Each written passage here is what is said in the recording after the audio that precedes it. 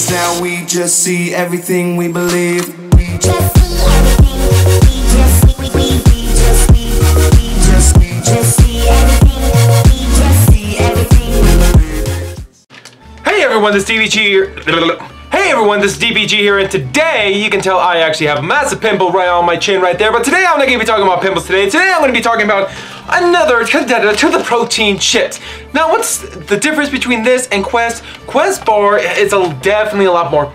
Uh, sorry, Quest Protein. It's definitely a lot more powdery. Um, it does have that distinction that yeah this is definitely made from protein powder which is not I'm not a big fan of. They don't use enough um, potatoes or even potato starch in it to give it an actual chip flavor. What's good about this um, yes, there's actually technically more carbs in this. I'm not, it's not a lot. And they do uh, change it up. They do go with a pea protein base. Uh, this is Protes. It does, uh, you know, promote 15 grams of protein per bag, which is actually not too bad compared to what it is. It's only 120 gram, 120 calories. It's actually not too bad. This is the zesty nacho. They really do put the actual nasto flavor in this. I don't know why a lot of places do a lot of foods when they say, hey, you know, this is healthy and you know it's protein, but you know um, we're not gonna put a lot of powder in it. It's like, what the hell not? Just do it, add a little extra. We don't care about the damn salt at this point. We know there's already gonna be a ton of salt in this, so just put an extra 100 milligrams because we don't freaking care at this point. I just want my damn chips that taste decent. So anyways, um, when it does have the taste, it still have that powdery taste to it as you're still eating protein, but not as too bad or as too uh, strong compared to the Quest protein uh, chips. It does have 4 grams uh, 4 grams of, of fat, 7 grams of carbs, and 15 grams of protein. Uh, three of those uh, carbs are dietary fiber, and it's not too bad. I've had actually better. I'm going to try to get some Bonitos uh, here pretty soon, so I will try those out a little bit more, give it an actual a third taste to it personally. I like them, but you know, you never know. Um, it does focus more heavily on the pea protein, like I said, that is the first ingredient.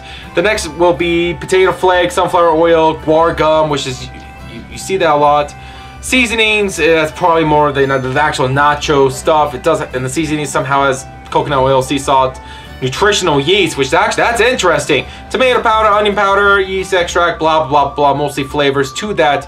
So actually, when it comes to the ingredients, I'm actually very proud of. Um, I'm actually paying for something some actual quality ingredients here. This costs about 250 per bag at your local um, GNC and it does promote vegan right here as you can see right here which is one of the very few things I will go vegan. You can't really put you know uh, a milk based protein in your uh, chips. That's why I believe that you get more of a powdery taste to it. I don't know. That I've only tried two different types. I will find another one and try it out. Maybe it's actually be a little bit different.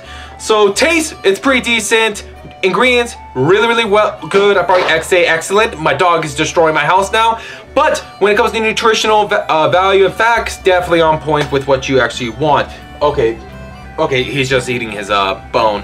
So I would say, yeah, give this a shot. Um, don't buy a ton. Get your one first and then maybe buy a few more, but that's your personal choice. This is DPG and that was the Protes Protein Chip.